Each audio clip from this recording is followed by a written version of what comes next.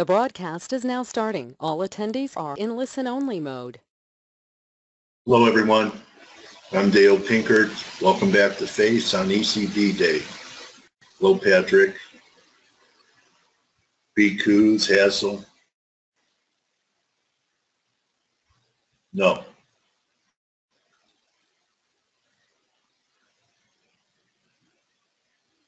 Did you catch alongside of crude? So everyone's listening to uh, Draghi having its press conference. How are you, Chris? Ardianto? Everyone doing okay? So this is what I see in the Euro. Drive one, drive two. I'd like to see one more shot up towards 109.80. Um, uh, interesting look from Nick. AB equals CD at 109.80, which actually would be a new high and a third drive up here.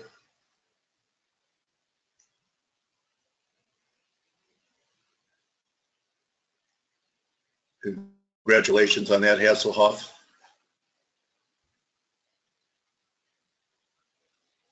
Who wears short shorts? Anyone in here? Yeah. Okay, so uh, I, I do want to take a look at Canada here. A lot of these are in the same setup. I'd like to see one more shot up in Canada too. Here's one, here's two. RSI over 70 on the last drive. I'd like to see one more push. It could be a failing rally, but I'd wait for one more push. It looks like a lot of things are setting up for sell in May and go away. Early May, some turning points may happen. I just want to cover the oil too, because uh, from yesterday, got a 100 pip rally from the 902 level. And on the four hour, we're still diverging. I have no signal, but we are at major support here in the crude. The four hours diverging, the one hour isn't. So I would key a buy in crude off of one more drive in Canada. There'd be nothing wrong with probing it uh, with a partial position at major support at eight and a half. I still believe that before we take out these lows here, that there's a rally coming back to 51, 51.50. So you could put a, a piece on here, and if it breaks to 48, put on another piece, and you're wrong under the low. You don't want to sit with it under the low. So this could still be happening. Maybe we have to go to 48 so Canada could drive up there one more time. So we're closing in on our first month of FACE. I have a great interview today with Mark Newton. Uh, Mark's interviewed on CNBC quite a bit. They bring him on. He's an excellent technician. How are you, Dan? See you scalped that uh, Canada for 100 points. 36.50 was a good number, Hardianto.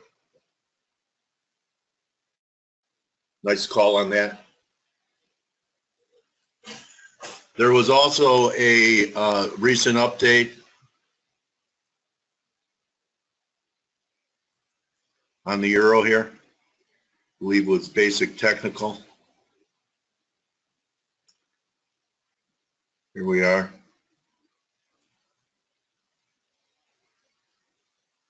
Showing the 61.8 back, uh, perhaps it's the right shoulder.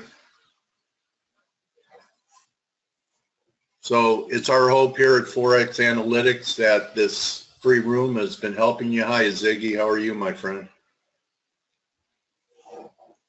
And the way to say thank you, if you're winning and learning over the last month here with us at ForexAnalytix, is to become a subscriber.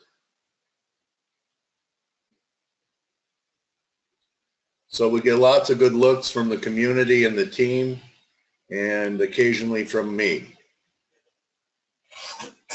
So although premature, looking for a top in Guppy, I think I've made a couple suggestions this week. The crude yesterday at 902. The Aussie and Kiwi from uh, from Monday, which was here in the Kiwi. I, I wouldn't be short the Kiwi anymore. We're start, we got a little two driver here.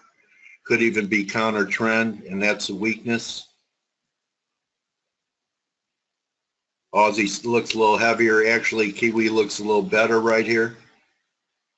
So uh, the Aussie was a nice suggestive short from 75.60 or so. There's 100 pips.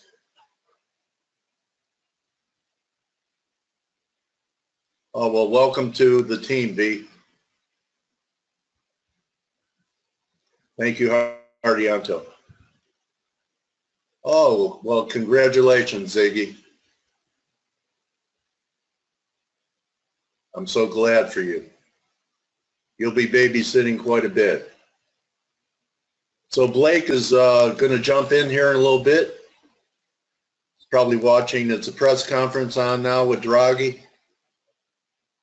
Anyone know what Draghi's saying? I think I know what Draghi is saying. He's saying, I want to make the economic pizza pie bigger for everybody. I want to make the pizza better, bigger for everybody in Europe. Uh, we do a little more QE.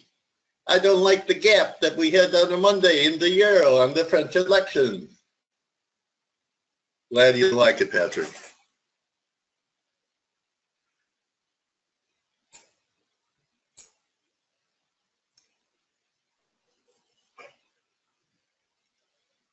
Well, that's a compliment. He was a great actor, wasn't he?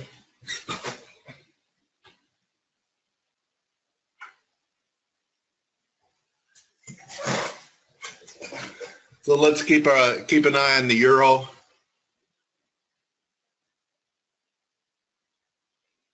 Also, I do want to point out for all you cable bulls here, what kind of high is this in the cable right here? those of you that have been following me here.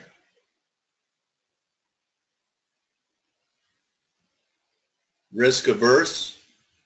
Risk on means you're buying everything. Everything's going up. Risk off is everything's going down and you want to be in cash.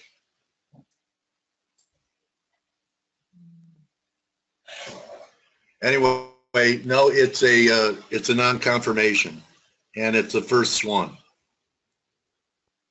See this? See this?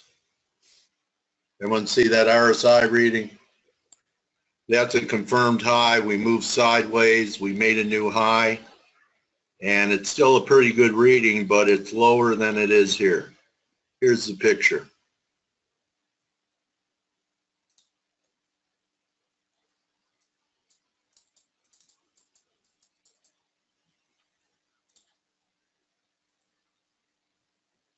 basically a lower high here. See that?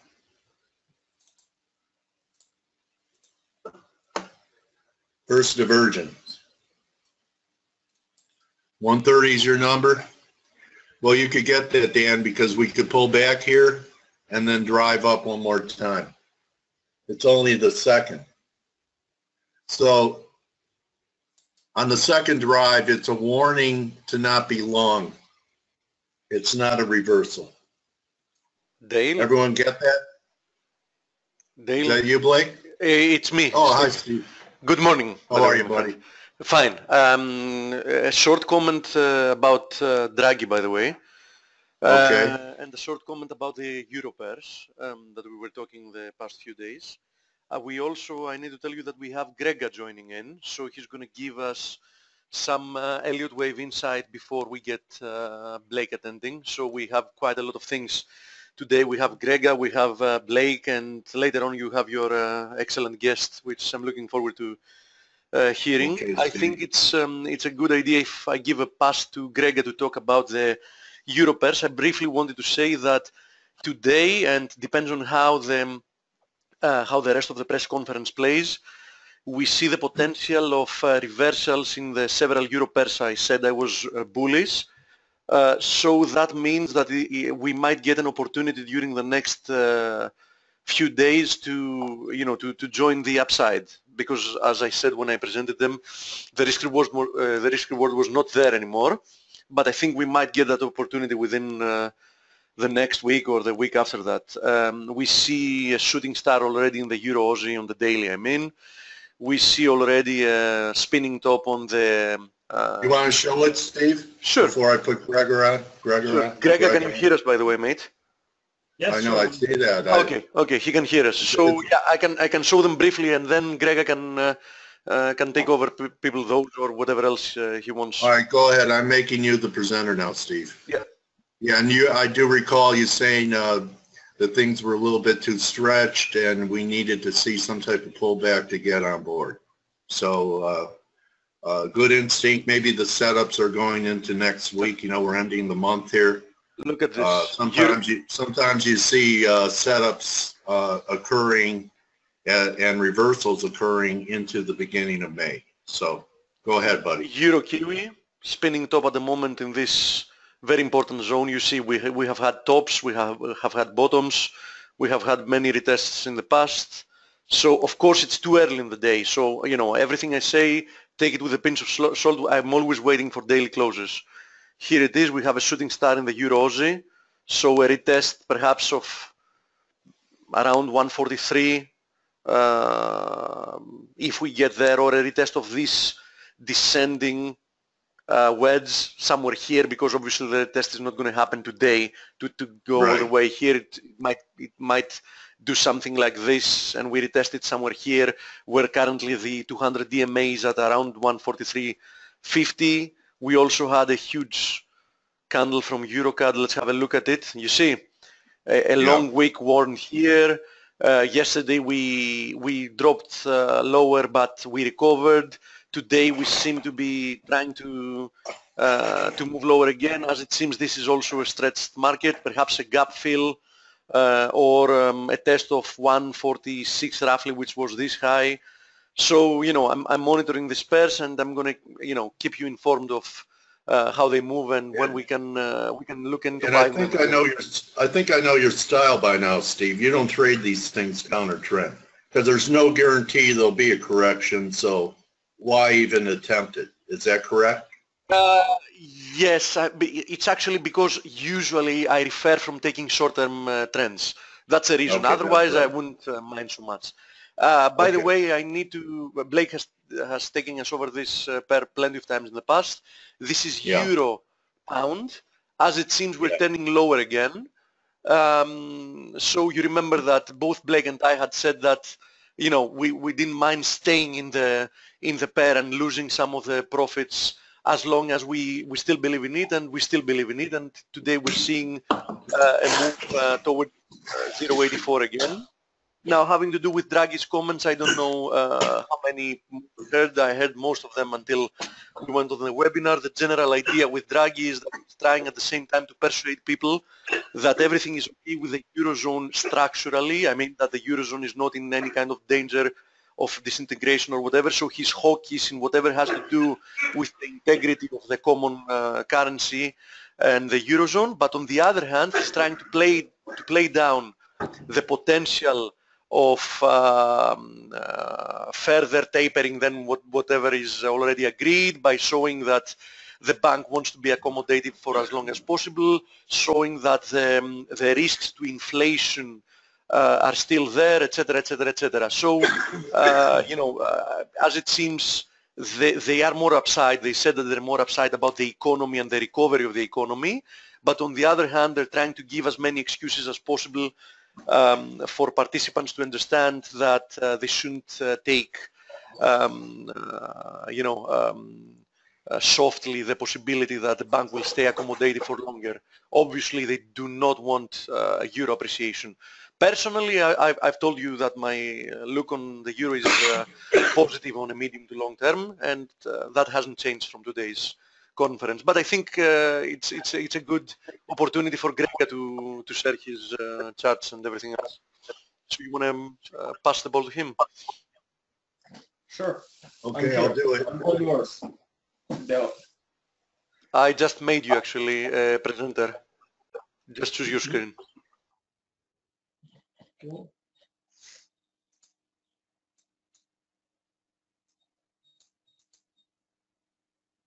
Okay, just let me know when it's, we will see it. Can you yes, see? We can see. Yes? Can you see my screen? Yes, mate. I can. We can, can see your screen. Ah, okay, perfect. Uh, so actually, I will co cover the stuff as you know, Stelios, that when we discussed on the meeting about this 10-year US notes moves and how I think that they are only in a corrective bounce. So I will just give some of the Ju- ju- background. Just to- to put the viewers in uh, in the whole debate, we were talking about Grega. Grega was showing us how correlated the 10-year uh, US Treasuries are with the Euro USD. That's why he believes that Euro USD is going to move lower. And then we had um, uh, a constructive debate about how the movement is also is, is mostly um, uh, determined by the differentials. Uh, I think also Mark talked about it yesterday, the differentials of uh, the bonds and the treasuries. So it that, that it I does not think he necessarily. used the two-year. He used, I think he mentioned he looked at the yes, he- two-year. he's looking at the two-year. He said that. Yes, he believes it's mostly correlated. That's correct.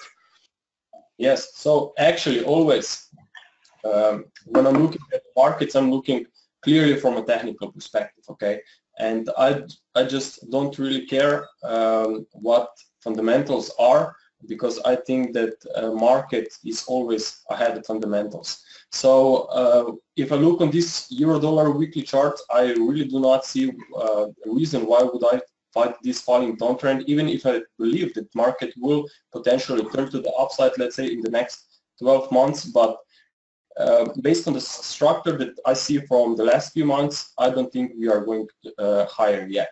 So the reason, there are a few reasons why I should remain uh, on the bearish side for euro dollar. So first one, as I said, because larger trend is still down. The second one is because this bounce from the lows is in three waves or in seven legs if you go into details, but still in both cases it's a corrective movement. The next thing that uh, is very worrying for me is those gaps. Now, if you're if you're tracking forex uh, for some time now, then you know that those gaps will very rarely open. So normally they will get filled, but it's just a question of time. Now, usually some small gaps will be filled in the 24 hours or maybe even earlier on Sunday.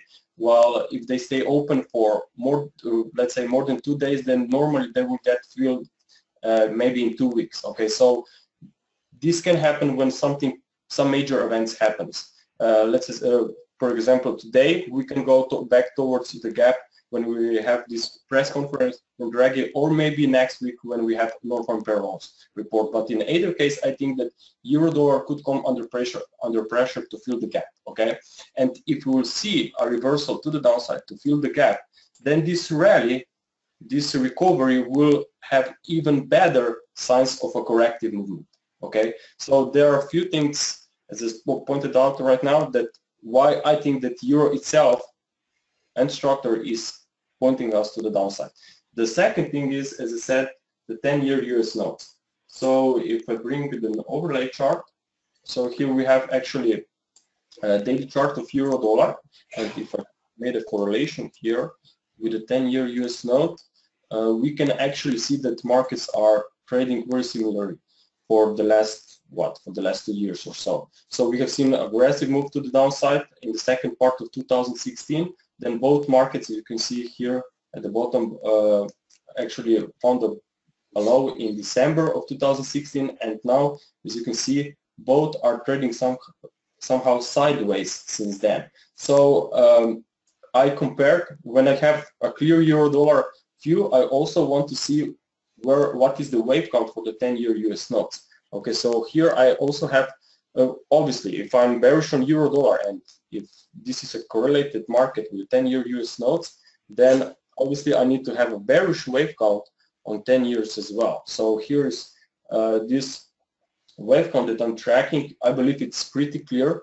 Um, it's a zigzag uh, in progress to the downside. So we have here on 10 year first five wave development for wave A, then we have a nice but still complex three wave rally for a wave B, but you know that corrections like B waves can be complex. So clearly this was a temporary bounce. And if we are now in a new leg to the downside, another strong leg, then this wave C should be somehow similar to the wave A. So we also need five waves to the downside. And here I do not see five waves down yet. Okay, so here I believe it's a wave one, two, three, and now we have a nice three wave rally for a wave four and expecting a move to the downside for a wave five. Okay, so, and if we now consider this, then we can apply that euro dollar and actually 10 year US notes both suggest that we could continue to the downside. Uh, Hey, Grega, you have that labeled as a four when it completes down there and re- really great analysis. And you brought up non-farm payrolls and yesterday Mark brought up that the market isn't looking for the Fed to move in June and maybe the NFP gives them reason as well as the S&Ps being at new highs. Uh, very nice insight. So after we get down and we complete that um, five wave pattern, do you think there's a chance for bonds to rally for all the way to new highs in a five? Uh, actually, market could continue higher in a in a three wave structure because I see. here on an even higher time frame chart. Okay, uh, I'm actually considering this to be an ending diagonal in progress. Okay, so we could have new all-time highs in, in the bonds and the last bottom in the, uh, 10-year happened on the Fed hiking rates, remember? Yes, but actually what uh, what it really matters to me at this stage is that once we will have a new low here, okay, Yeah. I would not say we are going to a new high because we must not go too far with the wave counts, with the wave, with the prediction. I always try to focus on a one wave at a time, okay? And then Right. when market unfolds, if I see that market is going my way, then I try to stay with uh, the, this my primary counts, but I'm always ready to adjust my wave counts. Okay, so this as don't forget that any five wave movement, when you think it's wave C, can also become wave three, which means you could can get on also an extended five wave movement to the to the downside like black wave three, not black wave C for counter trend price movement. Okay, I but see. what really matters is that once we will have five waves down here, that we should expect at least three wave bounce, A, B, C. Okay, ideally we will see a larger recovery back to bullish mode, but as I said, one wave at a time. So three wave bounce could, could occur, and when that happens, when I think that we will get lower into wave five and market turns, that's when euro dollar could also turn to the upside from from this wave five as well, which I think that we are going to see slightly lower levels before reversing. So actually, I think that euro dollar could stay under pressure till the end of the year, and then in let's say in 2018, I would watch out for a reversal. Thank you, very concise. Great stuff. Thank you. Anything else? Gregor, you want to show us from an Elliott wave perspective the possible corrections of uh, the euro crosses? Do you have them Uh, prepared? euro cross. Um, I have everything.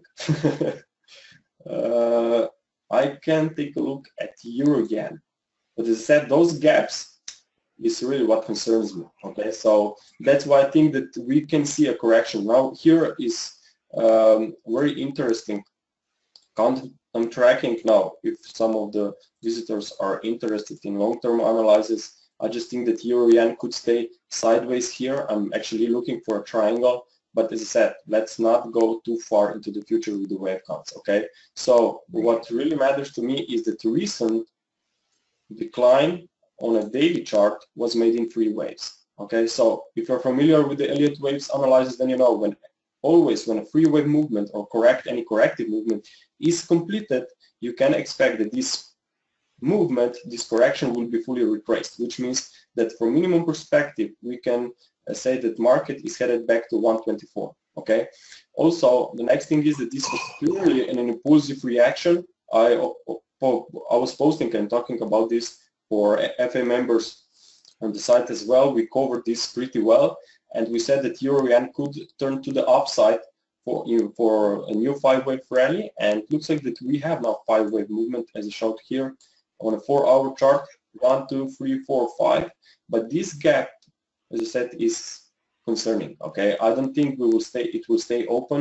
Always uh, pullbacks will occur, and ideally we will see a new free wave setback, which could be B back to this open gap area, and then watch out for a new uh, turn to the upside. At least this is what I'm looking for. Okay, so if I'm if I want to put money in this pair, I would rather wait on a big free wave drop rather than put a risk here. Okay, and also there are some traders which will uh, try to short this market, but definitely it's a dangerous game. But it can be some nice risk reward uh, trade if you spot a five fall on a smaller time frame chart.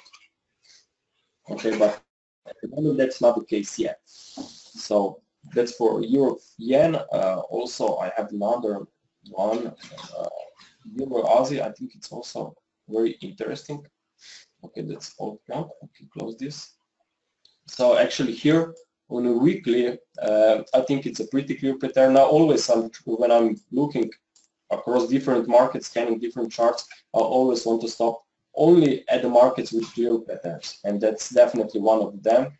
We have one, two, one, two, three, four, five, which means, means extended wave three. Then you have a free wave retracement. Then you have a new wave five, which completes the whole five wave cycle for wave A. And then you have a free wave retracement. What is the best part of this free wave retracement is that you had an ending diagonal which is the most powerful pattern out there. We tested and spiked out these wave 4 levels and reversed higher. We now broke this trend line, so I really think that Euro Aussie could stay um, could, could, could stay in uptrend here. But um, so, Greg, uh, can I ask you on this Euro Aussie, since you have a view that's somewhat negative on Euro, looking for another decline, is this going to be more about Aussie weakness than Euro strength? This Euro yes, Aussie? I think so. Yes, because okay. or, if Euro dollar will stay, let's say that Euro dollar will not move straight to the downside, which is definitely possible.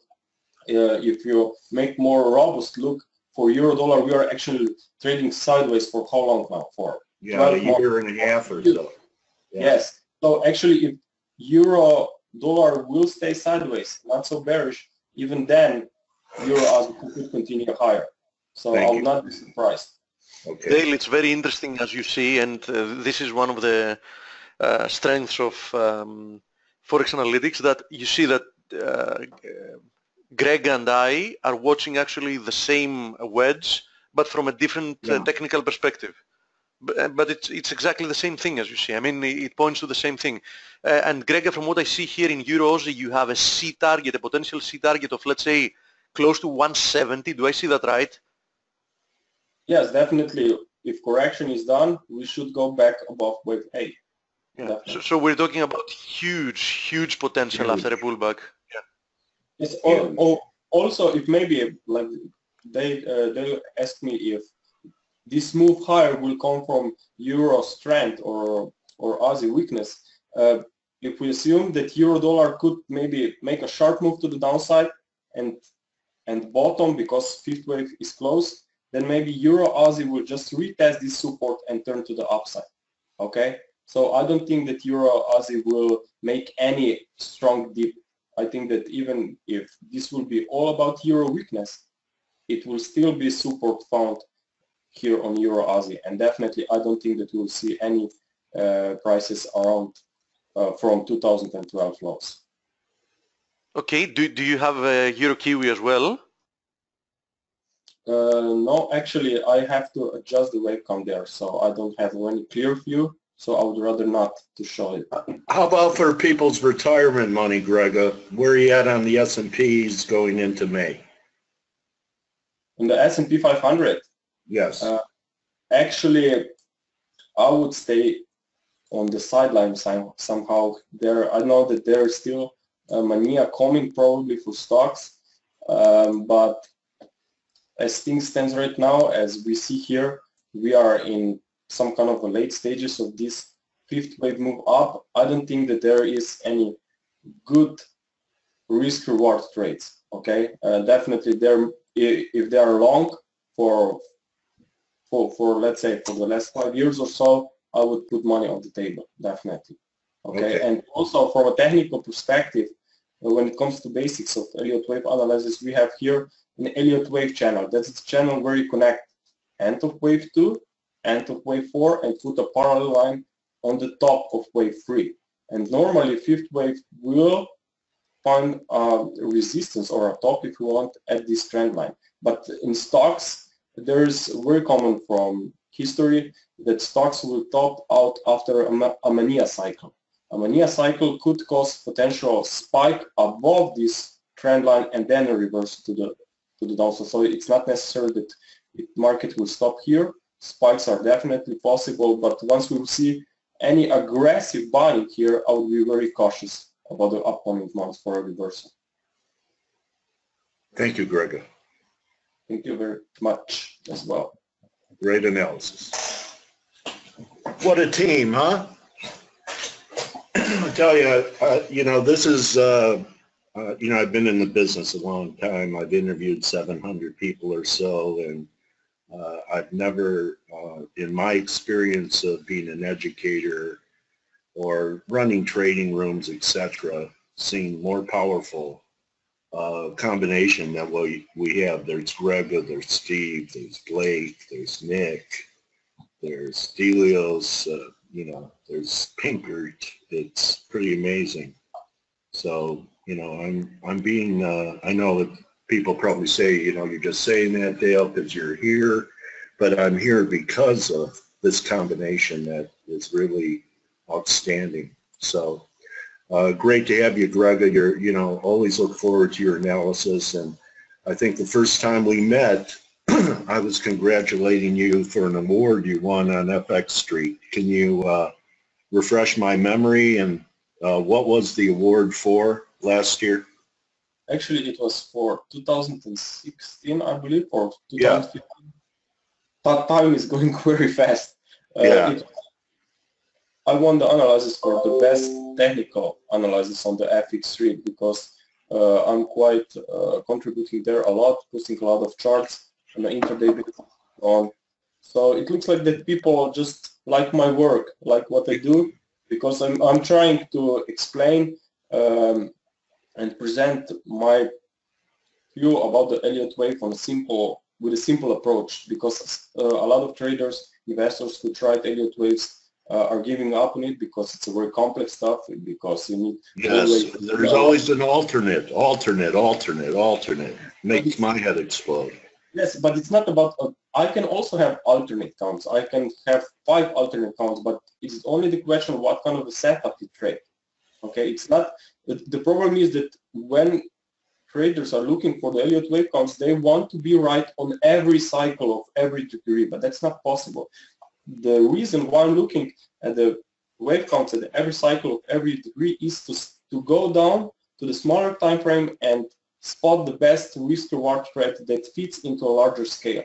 But if this trend will change over the next few weeks, I will adjust. So I don't have issues to be wrong. That's the problem with the Elliott wave traders that want to be right. I'm also receiving emails, Gregor, you were wrong on that. Gregor, you were wrong on that. Okay, maybe I was wrong, of course, but I never took a trade. I never took a trade on that market. I was trading some other stuff. So it's actually not the point. I'm just making the wave counts because I'm looking for trades, looking for probabilities. Where is the money? And that's the point. Trade the clear patterns.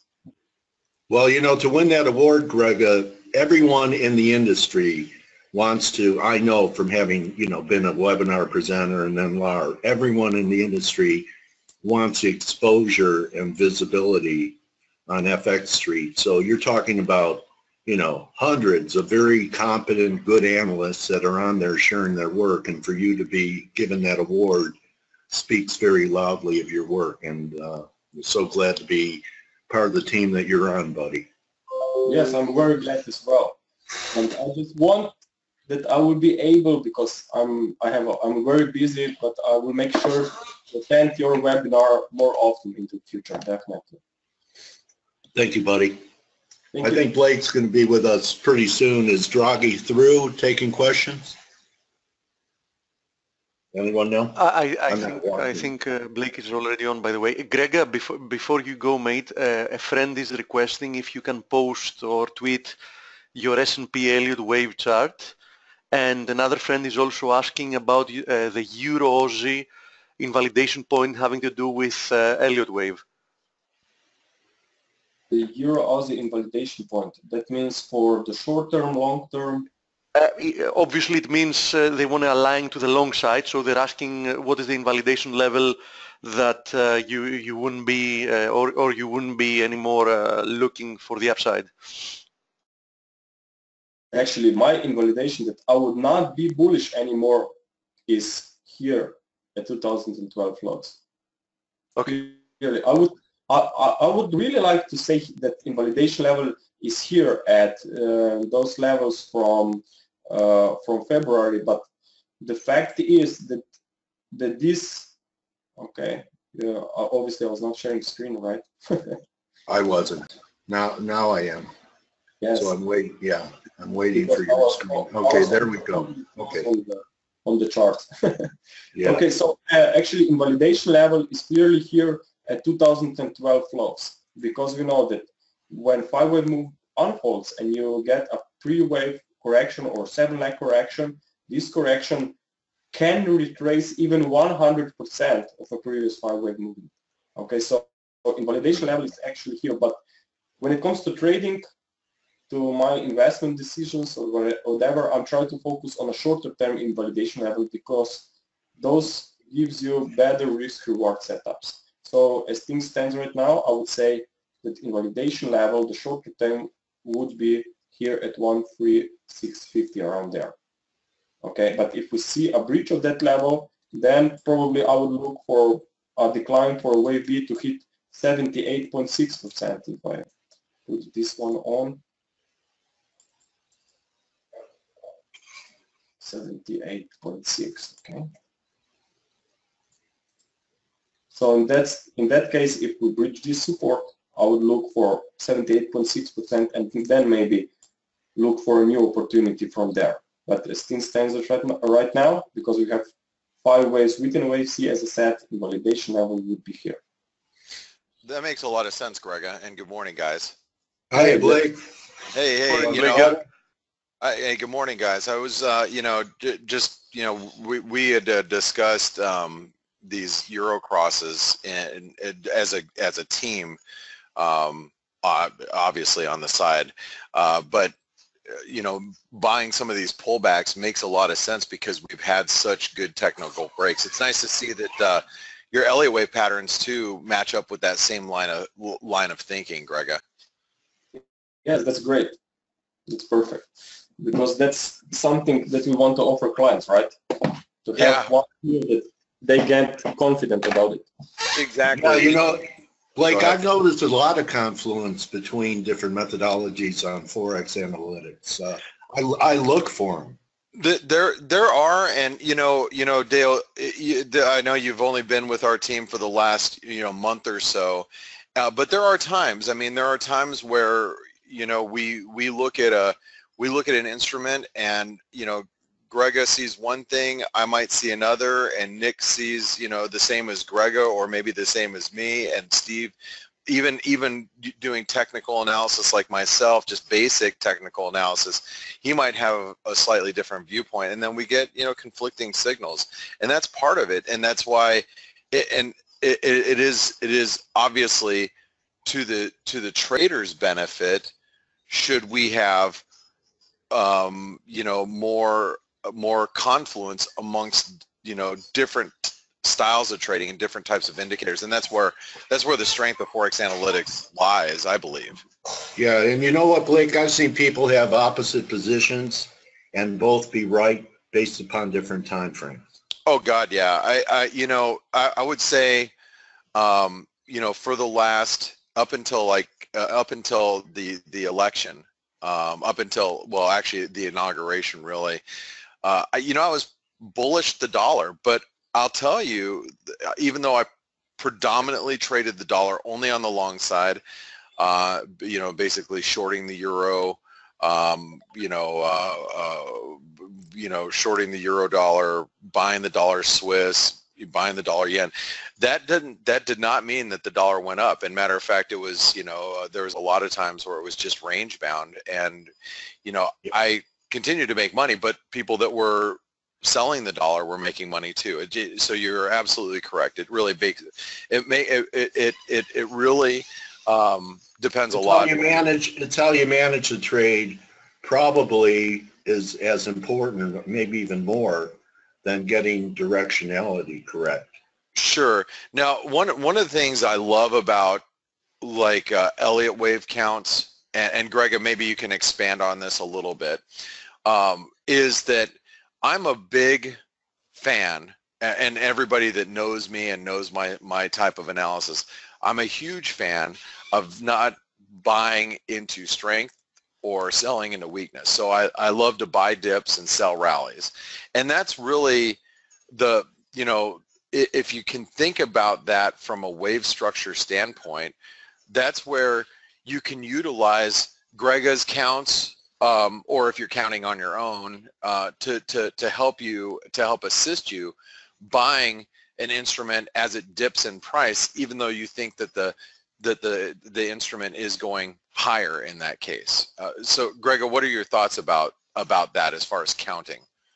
Yes, actually, Elliott wave is based exactly on that. That you need to label. At least I'm doing right. Uh, this is that I'm always trying to label the wave, the wave count, so that fits into the current wave structure, into the current trend. Which means if market is bullish and I see a pullback, I will always try to label this to be a wave four and will always expect more okay and if we'll see then a, a new pullback i will then try to label it as a temporary movement and then again expect more because we all know that continuation of a trends are are a lot okay in one trend uh, Right. while top formation or bottom formation is only one so see simple as that stay with the trend wait on a pullback and always expect and be aware that market can continue higher. Don't judge the market because markets, as I saw, can always surprise. And you know that's such a great point, and and it so it, I guess the point that I'm trying to make, and and what Greg is trying to make with you guys as well, is that if you can get in the habit of buying a pullback or selling into rallies, uh, if you're if you're bearish, that's really the the the the basics to trading. I don't I don't profess ever to have the the holy grail of trading but I will tell you that if there's a consistent message that I've heard in the 20 plus years that I've been trading, it, you know, doesn't matter what methodology you're doing, doesn't matter what type of strategies you're employing. If you just buy things when they're cheap or sell them when they're, you know, high, you know, buy low, sell high, you just, you know, practice that basic premise no matter what strategy you're doing, that's going to benefit you in the long term. You know, buying breakouts and trying to play into momentum, uh, you, you, you, there are professionals that do it, and I know professionals that do it, and they do it well.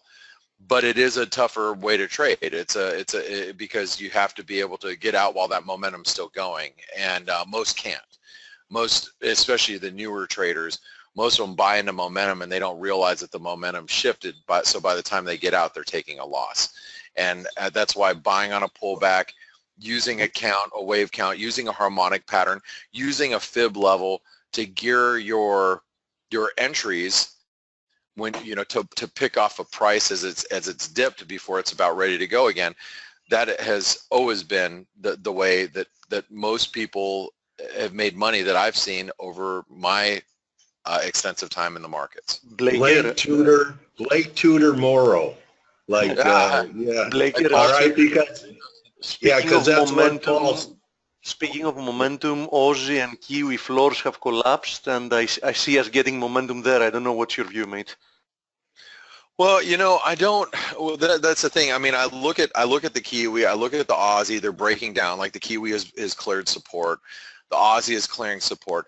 But the last thing I'm going to do right now is short them into that weakness. What I'd rather do is say, all right, well, let's let's let them bounce And once they bounce, if they bounce into, you know, they bounce into some resistance and it looks like they're going to stall, then that's the there where I'm going to take advantage of them. No, I'm with you there. I'm just saying that I think that uh, today's breaks, if confirmed, are uh, really bearish in the medium term at least. Yes, I would agree with that. I'd, I'd agree with that, and I think that, you know, you can you can play into the, you know, uh, you can play into those on the short side with the dollar, or you know, as as uh, as you had been talking about, and and and Grega was just pointing out too, buying some of these crosses on these dips. So, you know, whether it's the Euro New Zealand long or the pound New Zealand long, things like that. I think that that's a different different way and, and possibly even a better way to employ uh, deploy against uh, some of these these uh, uh, hard getting hard hit commodity currencies. Yeah, and I agree with you, Blake, because that was my best call of the week was shorting Aussie and shorting Kiwi Monday, and uh, anyone who's chasing this weakness right now is going to have some problems. I think. Yeah, yeah. I mean, that's the the, the, the thing. It's like you, you you you have to catch a move. Uh, one of the one of the things that's really helped me out, um, uh, especially in my last, I want to say my last 12 years or so of trading, is when I really started to tailor my my experience around catching a move before it happens. Yeah. Kind of like you, you, you said, hey, the, you know, the Aussie and the Kiwi is a good short. It's like, yeah, you know what? Earlier this week, the, the Kiwi was a great short, and, and, and, and rightfully so. It was up, you know, it was up around uh, 70 cents, and here we are at 68 cents. So you, you know, as a trader, you have to think about that from a value perspective. Like, okay, I'm shorting the Kiwi right now, but it's also uh, it, it's also you know, maybe about five per, or four percent lower than where it was on Monday. Monday. So, do, Yeah, so does, it- does it, yeah, does it make sense for me to be on the short side right now after a four percent drop or a three and a half percent drop? I don't know about that. I, to me, it, to me, it's like no, I don't want to. I don't. I, you know, the the people that were selling it on Monday were the smart money. You know, Yeah, you know, Blake, the only market you could keep buying new highs in for the last uh, five years is the S and Ps. Re- yeah, it is, and and, And and I've sure tried to fade it.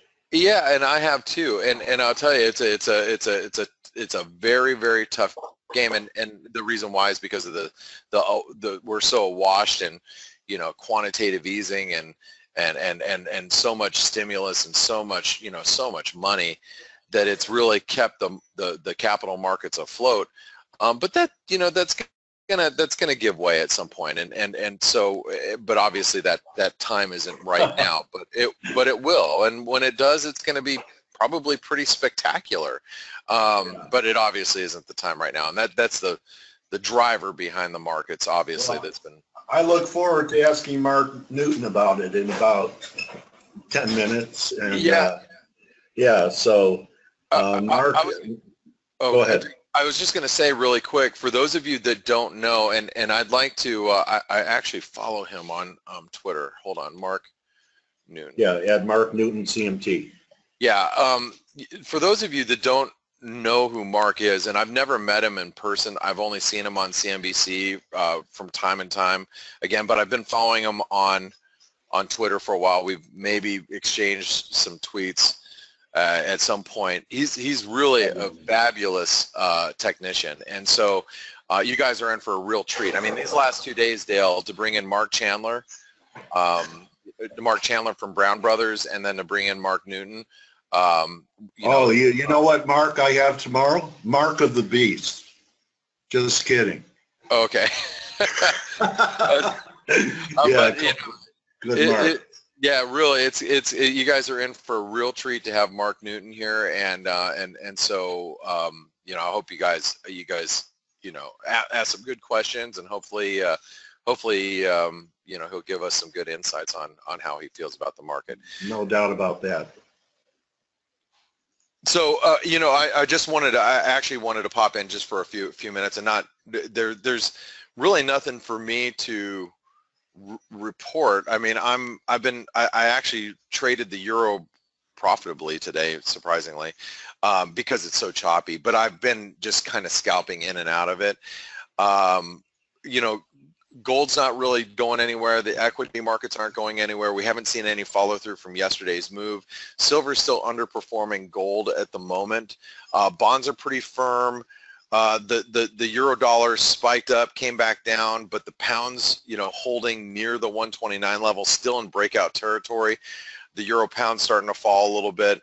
The euro dollar, I, you know, even though it's, we've given back some of these gains, I wouldn't be surprised if the euro pops back up a little bit later because frankly, you know, taking a step back and listening to the ECB and listening to Mario, Mario Draghi rather, um, you know, he, he was pretty upbeat. He was, it was, it was, it was pretty upbeat. And I can't, I can't really figure out why the euro has come off the way it has. Maybe it's because of his comments about the lack of inflationary pressures, but overall he was fairly upbeat. So whatever downside uh, that we're seeing in the euro dollar, I don't expect it to really stick around too long. I mean, we might we may pull back to 108, which is I, I think it sold off on Gregor's analysis.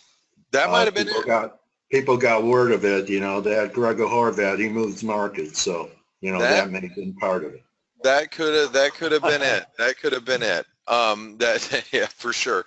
Uh, but uh, as far as today goes, what I'm what I'm really going to keep an eye on is I want to keep an eye on equities. I want to see what they what they're what they're doing here. Um, everything's still really well bid. I mean, I'm surprised that the the, the equity markets uh, have shaken off yesterday's. Um, you know, we had the the we did get the buy on rumors, sell on news as far as the the tax plan goes, and I think there's the the lack of details and really the the uncertainty that that that that the Trump administration is really going to be able to push too much forward with uh, with what they what they initially have given us.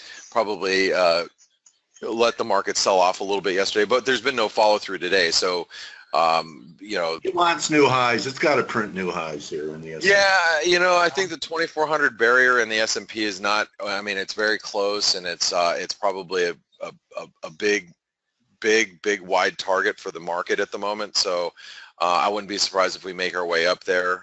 But I, I think the, the the the risk reward to be long at this point is is you know pretty tough. It's a pretty tough argument to to to be on the long side of equities right at this moment uh, without another uh, reason to, to, to do so. And every reason that we've had to, uh, to, to push higher, you know, we're kind of, uh, we're kind of stalling up here. So I'm Plus, not 100% convinced at this point.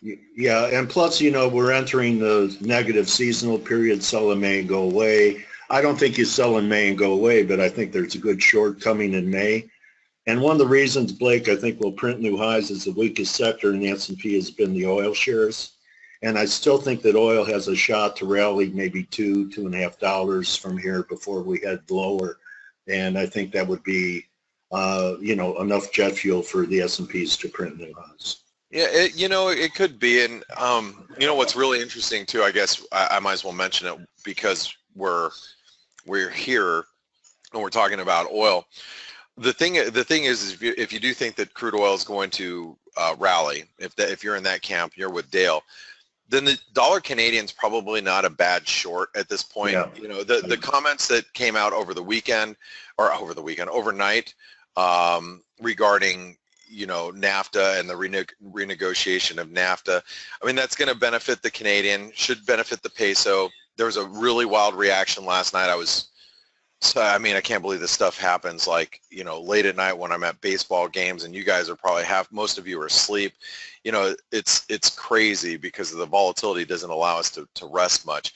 But I'll tell you, the dollar Canadian above 136, you know, this probably isn't a bad place to be on the short side because if it can close below 136, you know, I think we might make our way back towards 134.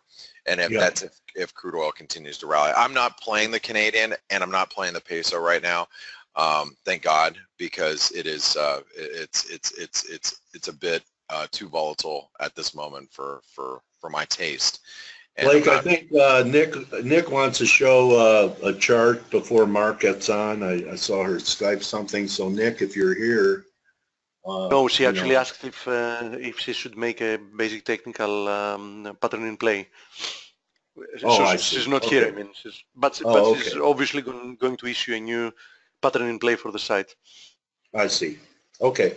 Sorry, Blake. That's a, that's just a little heads up for, for those of you that are, those of you that are, are, are ForexAnalytix subscribers. Um, Dale, I, I probably, I don't know if you've taken a break yet, but, um, I know, haven't. yeah, so maybe you might want to give everybody a chance to run to the restroom before you bring on Mark Newton, because I'm excited to hear Mark. Uh, I always, uh, he's one of those very few people that when I see him on TV, I actually stop and listen to, so I'm excited to hear him as well. Okay, thank you, Blake, and uh, I will, uh, I'll just run, uh, I'll be back in about four minutes, everybody. Mark, I see that you're in the house. Thank you for taking the time today, and I'm going to make you the presenter in about four or five minutes, so that's your heads up. So stand by, everyone, for Mark Newton. At Mark Newton CMT is his Twitter handle. Stand by for Mark. Five minutes. Okay. I'm looking for Mark Newton. There he is. Hi, Mark. I'm making you the presenter, my friend, my trading warrior brother. Interviewed Mark once before on FX Street. So you have the controls now, Mark? Waiting to hear your voice.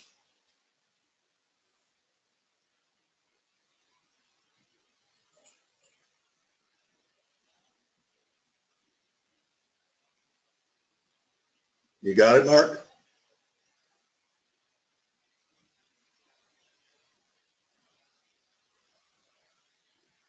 Hello, Mark.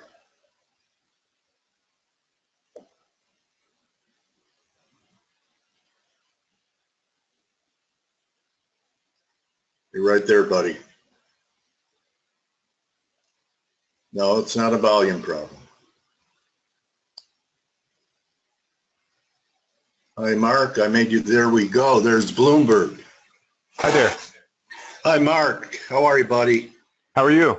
Good to Good. hear Uh, you. you have some, you have some fans in here. Uh, you know, the, uh, Blake Morrow's a legend in his own right and Blake follows your stuff. I, I always try and catch your segments on CNBC. Wonderful. you Oh, know, thanks very much. Yep.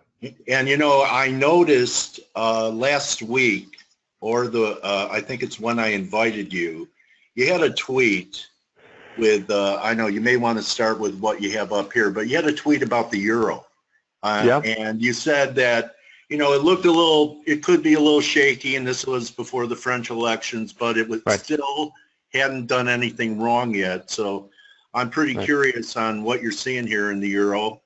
Sure. And uh, I notice all these different numbers. Is that Tom DeMark stuff? Yes, it is. Yeah, no, I use a lot of DeMark indicators just for a counter trend type uh, methodology that I, I overlay to just a basic trend following approach. So, I mean, I, Okay. I do a very traditional type uh, technical analysis, uh, you know, methodology, but I, but I also use a lot of counter trend tools. And so DeMark really helps me to sort of pinpoint the highs and lows. And so, Yeah, you know, not not to go through a lot of this, but but in general, when you see things like this green nine, you basically had nine consecutive closes that are above the close from four days ago, and so you can run Right. that on days, weeks, months, and in general, it gives you signs of exhaustion. And the last couple peaks in the euro versus the dollar, you've seen nine counts right at the highs, and then also at the lows. And in this case, a more serious low, you've seen you start off with this what they call a nine count or TD buy setup, and then you run you know 13 consecutive closes where the close is beneath the low from two ago. And, and once you have 13 of those and then you get your official buy signal what's called a TD combo or TD sequential. And so when I see these appear in unison then oftentimes they can be very powerful in marking uh, highs or lows. But you know my theory on the currencies at least for this year is that the dollar uh, should be in a peaking process whereby you know, we, we see the euro and pound sterling uh, start to turn up a bit more forcefully on a long-term basis because a lot of these longer-term cycles have historically bottomed uh, at about 16 and a half year cycles. And we saw decent bottoms back in 85, and then we saw good bottoms in 01, 2000, 2001 in the euro. And my thinking is that we are uh, on the the verge of a longer-term bottom. Yeah, exactly. So yeah. you, you can see similar, you know, the highs have been made in, in 92 and also in late 07, early 08. And so we should be close to a time, and I'm not saying it's it's right here right now, but but I think that in general, the euro should be setting up for a bottoming phase whereby we see a rally over the next seven to eight years potentially. Yeah, I, the cycle I, you know, I saw that 2025 uh, year. Someone put out a tweet, you know, that's actually looking at um, uh, the euro going up until 2025. Uh, maybe there is one more Right. flush under par. Do you think that the parity guys can get one more? yeah. Uh, you know, finally, uh, is that what you're looking for here? Is that I, I I had come into the year pretty bullish on the dollar into mid-year, and then thought we would peak. And so obviously, uh, you know, things turned down almost right away, and and it's been uh, difficult. I mean, when I look at at uh, the euro, I was thinking that we could get a final flush. I'm not really enamored by the pattern all that much just yet. I still think we're you know, within a downtrend, and for those that trade short term, I, I think that there is a good possibility that we we turn down and at least pull back down under uh, 108 and, and fill the gap and, and try to get Yeah. down into 107. Uh, you know, but but obviously, you know, the battleground is is pretty set with regards to getting under 105.70 is is a pretty clear intermediate term sell for the euro, thinking that we're going to go to par, in my view, structurally. And if we can turn up and get above, you know, the more recent highs that we've seen over the last week, then uh, you would also have to go with that on the upside, and that's more of a, you know, an intermediate term breakout type, you know, philosophy. So so? It's kind of in near term, I think it's gone. Go ahead. it's kind of in the same position as gold is. Uh, gold was turned back Yep. from uh, weekly and monthly channel lines uh, Yep. in the last week or so. And uh, let me ask you this: I know you're a great technician, uh, but you know guys like Marc Chandler and our own Grega Yes. Horvat, uh, they used the uh, two-year and the ten-year uh, note as Uh-huh. a correlation with the euro. Uh, Okay. So I, I was curious what you were seeing if uh, this bond rally is over and we get one more shot down in uh, the 10-year note rate yields up, prices down, while Yeah. the S&Ps are blowing off to new highs. I, I think there's definitely a possibility that that can happen. I mean, you've seen a lot of the bearish sentiment start to wane on uh, on on treasuries uh, as yields have uh, pulled back a little bit. So I, I've been in the opinion that that rates can still move up into uh, in- into the summertime, and then you know we see a pullback in the market between July and October, and that's a time when we can start to see that. You know, the, the demand for treasuries come back and we can start to see uh, yields start to pull back. I, I think that, you know, right now the sentiment on the euro versus the dollar is very, very bearish. And we've seen that also on treasuries right near the peak and, and that's starting Yeah. to be uh, relieved a bit. But when you look at the short-term pattern, I mean, the real line in the sand is, is obviously this 230 to 231 level. Uh, I never got any real buys from a DeMark perspective right near the lows, but it was an impressive move back up above this level. I, I'm a little more bearish on treasuries near term and thinking that we probably can start to move up, and that should also be uh, bullish for financials. Uh, Right. I don't really see any real near-term problems for equities outside of just being a little overbought, and uh, you know, sentiment still seems to be very negative, and, and some of that might be to uh, just the, the administration rhetoric and, and the scare that it's causing. You know, it's the same thing. I, I think we're into earnings seasons now, obviously, and uh, the election, every major event that we've gone into seems to have been a chance to buy equities where fear has been elevated, you know, right up before the uh, the event started. And, uh, you know, the French election was really no no different there. We saw, you know, right around the time of the 13th of April, there were a couple different cycles that had shown the chance that we could bottom, and we saw the equity put to call rise above 90 uh, on uh, that day, the 13th. And, and to me, the fact that equities really hadn't seen any weakness, but yet the put to call really started to spike was a real bullish signal that suggested that uh, it might be time to go back into stocks. And obviously, the breakout in the S&P, um, you know, in the last week has been you know, we've seen a little bit of a flight out of defensives, and we've seen structurally things have taken on a bit more bullish tone. You know, Russell 2000 has started to do very well against the broader market, and Yeah, leading from a. DeMark perspective, I mean, we're still early with regards to any sort of peaking process by at least a few weeks. So I, I think in general, you know, we had a chance to sell off back in early March, and we just didn't really get there. We didn't hardly yeah. do anything. And so this consolidation near the peak, you know, nine times out of ten, these tend to be very bullish type movements. You look at just the S&P weekly, and it's just tough to find much fault with this chart. You know, in my opinion, uh, you know, momentum had waned a bit, but we just didn't do anything on the downside. The trends are still very much intact, and so I'm thinking at least another three to four weeks of higher movement. And there's some things I'm looking at in mid-May that could be problematic, but that's a good, you know, that's another. You, you mentioned July out. through October. What do you see uh, in that time frame that makes you think that uh, people might come back to treasuries and equities may correct?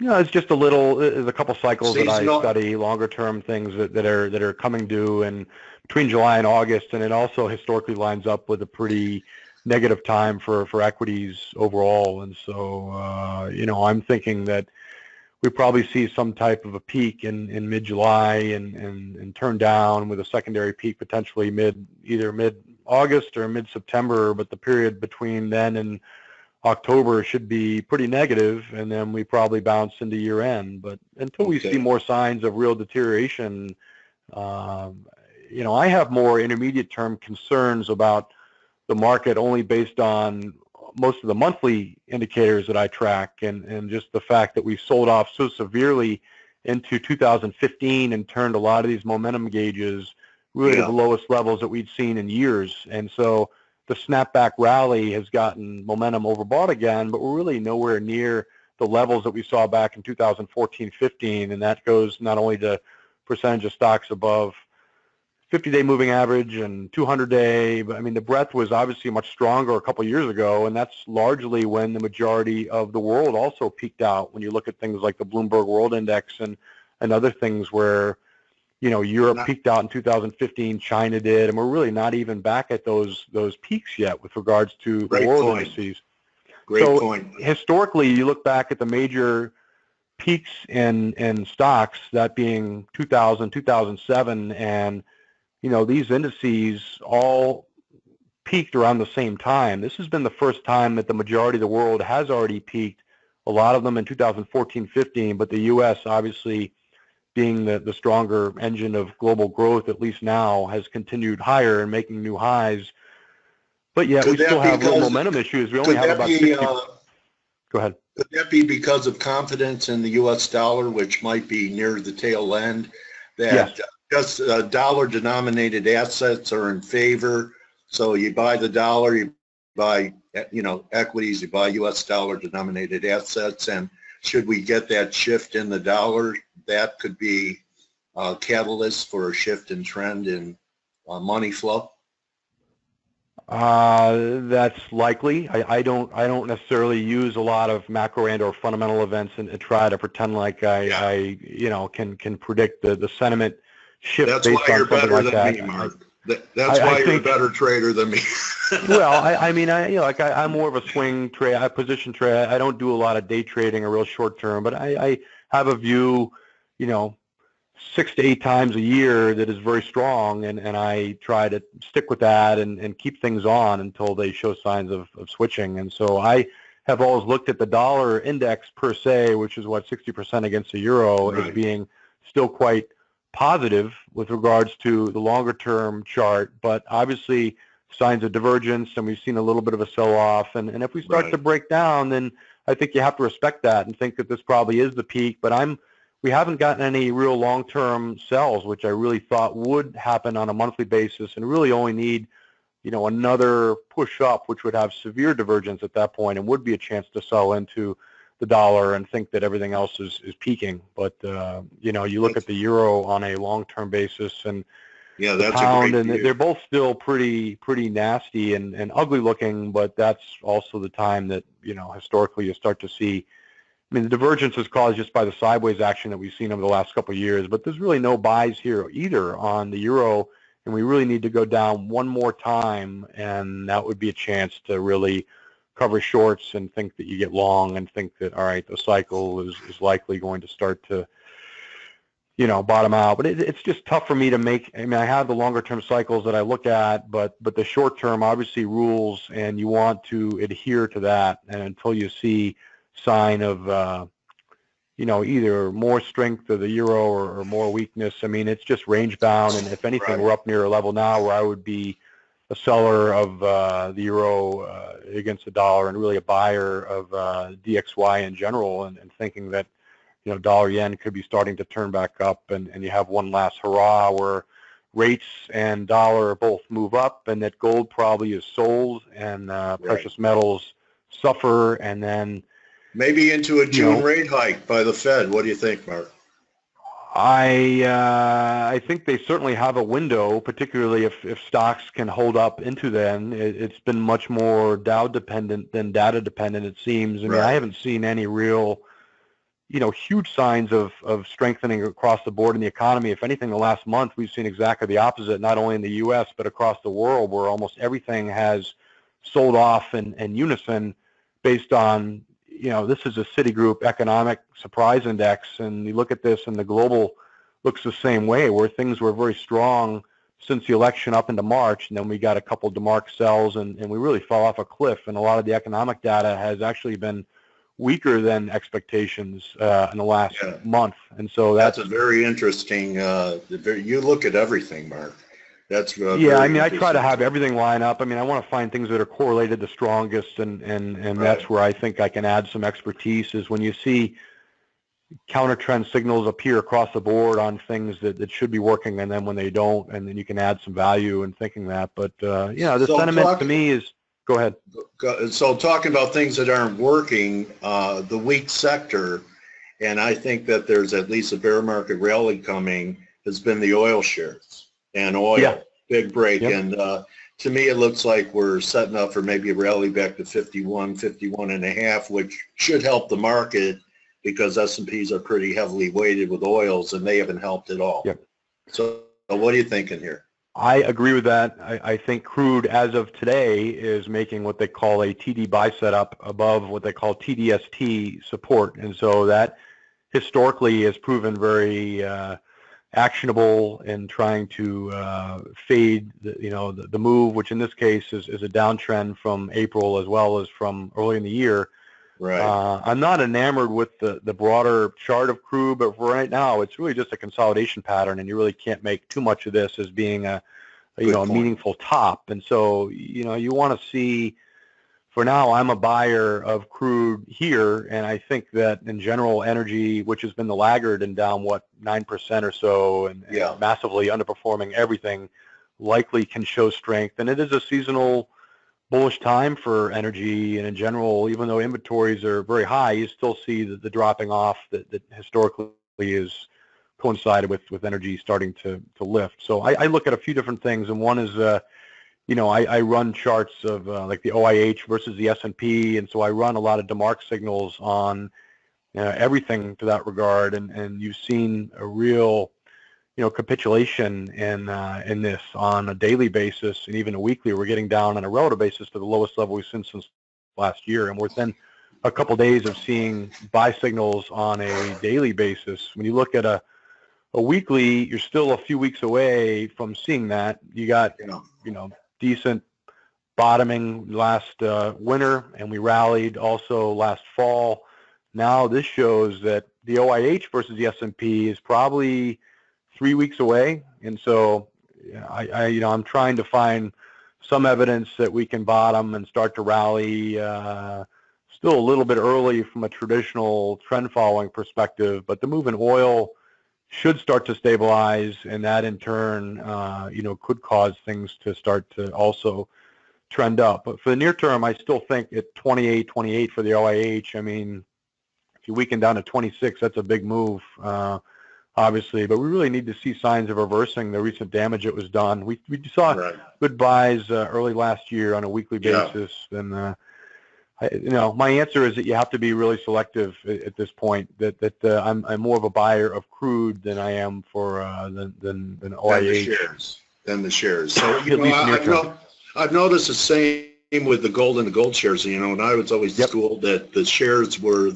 the leaders and they led Yep. the way and gold shares, haven't, especially the juniors, have not been really uh, keeping pace with what happened with the gold on this recent rally. So, Right. Uh, No, they, they've been extraordinarily weak, and uh, you know, I, I uh, you know, I, I am still a little negative on on gold mining and, and gold shares in general, and so you could probably get down to 21 from 2190 on the GDX, which for the what is it? The JNUG is the one that everybody looks at for the the junior or something. That's uh, I mean that's Yeah, that's leverage right. ETF Nugget, or yeah. something, but that Yeah. you know, that's really interesting. That's gotten really beaten up badly. And so you're down to levels now where, you know, this is this is a more interesting setup on the junior miners than it is for the GDX for me and, and sort of an interesting spot. But, you know, given my thoughts on, on gold, um, you know, my, my thinking is potentially you get one more attempted move up in gold and then maybe that fail. We just never got any sells for gold here either. And so we haven't really broken down. Gold should be, you know, really a couple, uh, a couple days away from at least trying to have a short-term type bottom uh, up here after this move. But, you know, we'll see if that, that materializes uh, at all. So here we are, 1262. So you get down near 1245 to 1250 and you would think about buying it for probably a last uh, you know, hurrah, back to the upside and then see.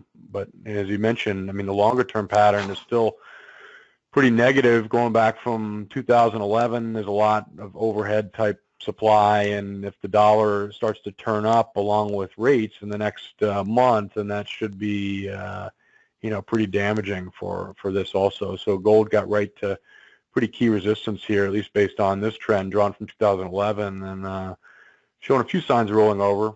I, I think Okay. you know until more deterioration happens, and you want to at least initially be uh, be a buyer, but that you know that also probably won't work if the dollars are going to turn up sharply along with with rates. And so uh, you So know, I- I, I- try to make sure everything makes sense. And right now, you know, you're slowly seeing gold start to roll over. And uh, if my thoughts on yields and, and the dollar uh, materialize for a little bit of a lift into spring fall and then a and then a peak uh, with peak in yields and, and you know we'll see what happens in, in the dollar but the, the dollar Okay. seems to be at a real make or break overall and so it's really got to move uh, quickly um, on a, So on a you short term mentioned, you mentioned the yen mark and uh, I'm interested, uh, one of our, a couple of our team members are pretty positive on the yen. I'm wondering what your view is and where you think uh, US dollar yen could go to. Uh, You mentioned that it seemed to be turning up here. Yeah, it certainly seems to be on a weekly basis. I mean, we need to, to see a little bit more to, to think that we're really there. Um, you know, right now you look at, uh, and I, I, I do make use of a lot of very elementary type trend lines, but when you look over the course of a few months' time, I think they're, they're you know, one of the more effective things you can use, I, I use trend lines and, and price and time more so than I use any sort of breakout or breakdown of commonly looked at momentum indicators, which I feel are, uh, are very difficult. But if you have a three or four month trend line that's taken out, that can give you all the signal in the world. So I, I do lean on a lot of the classical type techniques. So above 113 for me would certainly be a big buy on uh, on the dollar versus the yen. I think the yen should see further weakness. I mean, today's inaction seems to have gotten this going uh, a little bit more by the BOJ this morning. If you look on a daily basis, you see we got sells right at the peak, we got buys right at the lows on dollar yen. So just from a traditional uh, chart perspective, I mean, you get over these prior lows, and so that really is going to involve, you know, at least initially 112.20 above that 113.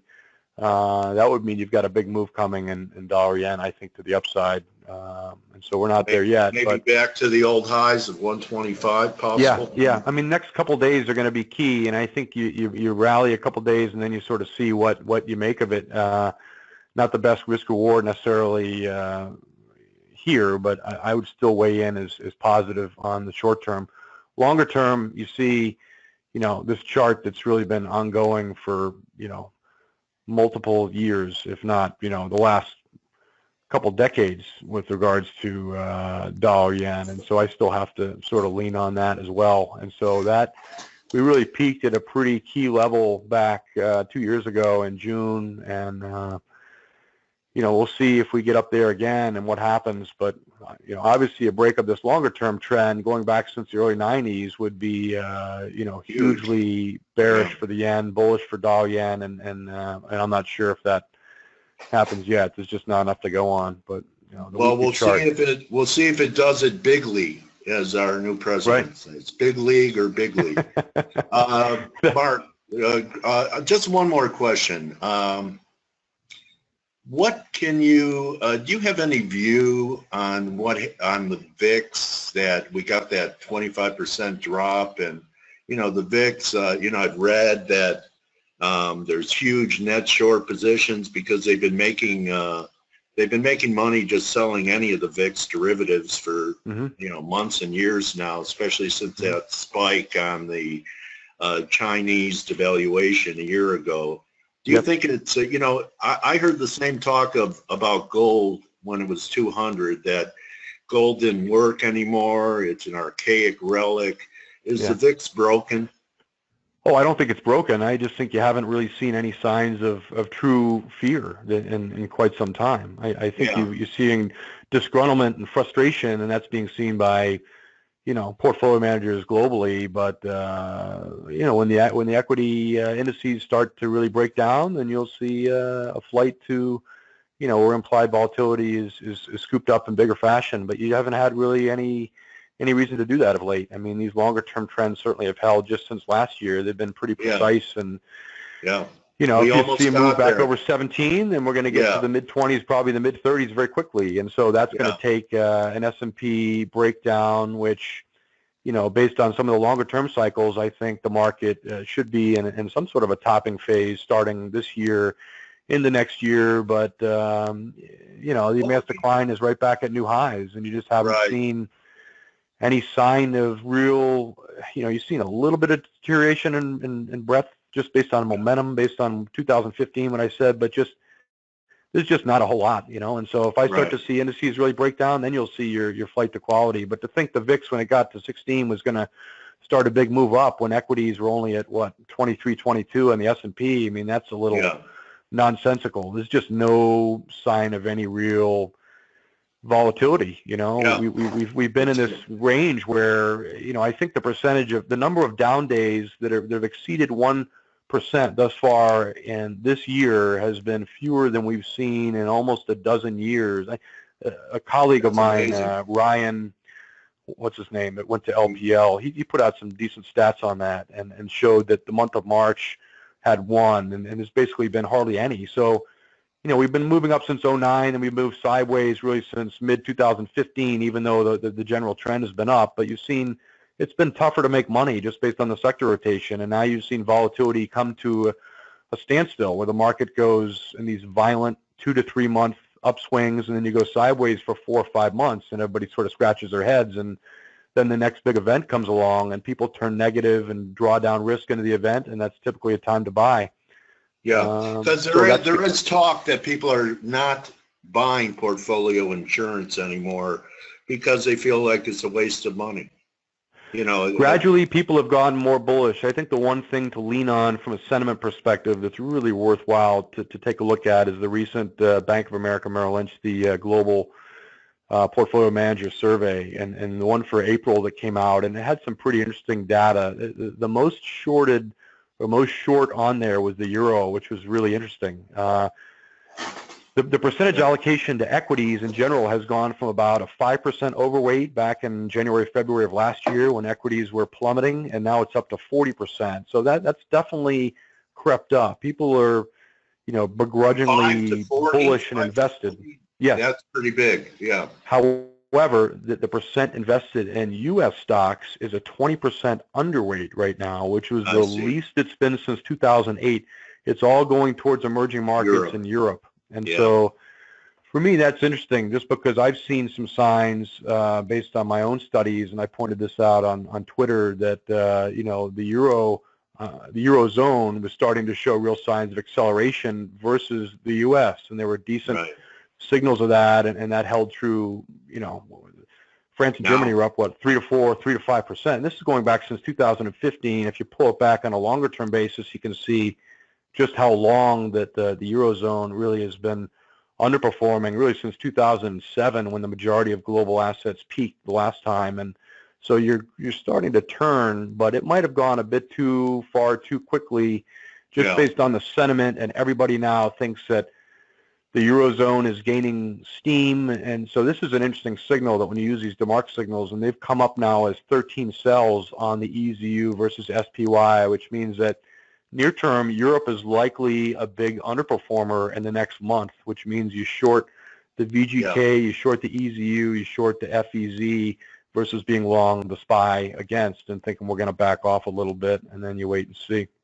Mark, what a great interview. Uh, uh, you know, you opened my eyes to so many things. I really want to thank you for edifying the faith community and accepting our invitation and hopefully you'll, you'll want to return and we can My do pleasure. this down the road. No, I'm, I'm happy to do this, and it'd be great to get more people. I, I'm hosting my own call this afternoon, and, and I'm going to give details on that on Twitter. But my own website is uh, newtonadvisor.com, so I would encourage anybody that's interested to take a look at that. okay, I so are you an institutions RIA? and uh, no, I just run a uh, consultancy uh, subscription-based business. I started my business a year ago, so I work with Okay, a bunch of institutions, but it's also open to retail, and so anybody can can get. I, I put out daily notes, weekly notes. I do a five minute video every morning that I send out to subscribers, and I also do a conference call, which just happens to be today at one o'clock. So I I try to do it all as a one man show and keep an eye on the markets at the same time. So.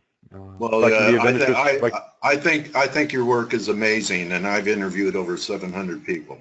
So. well, thank you very uh, much. That's a great compliment, Dale. I appreciate it. And uh, I, I want uh, to encourage people to check uh, Mark out if you're in the stock market and you could see that you could, I asked Mark everything and he answered everything.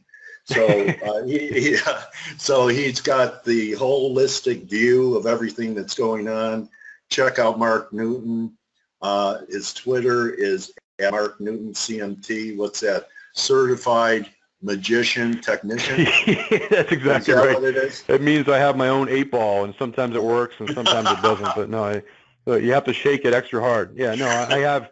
So I have a, a, a private website for subscribers. It's under Newton Advisors, but but the one for the public is uh, Mark Newton CMT, and I try to cover the gl- global macro environment, meaning technicals on stocks, commodities, currencies, and treasuries, and, and just give my, you know, my my view and two cents as to how I see the world. Your analysis is very edifying. Thank you again, Mark. My trading warrior brother, uh, may uh, this year be your best ever. Thank you, sir. Well, I'm, I'm happy to join you whenever you'll have me. So I appreciate that. Have a great day. And thanks for Thank everybody you, Mark. Okay, Okay, take care. everyone, that's Mark Newton. One of the better interviews in the first month that I've been here at FACE. I hope everyone enjoyed it. And uh, we'll wrap up the week in my first month at FACE tomorrow. Everyone have a great afternoon, great evening, depending upon your geographic location. This is Dale Pinkert signing off from FACE. And remember, don't just count your pips, count your blessings. And we'll see everyone tomorrow to wrap up the week. TGIF, my trading warrior brothers and sisters. Adios.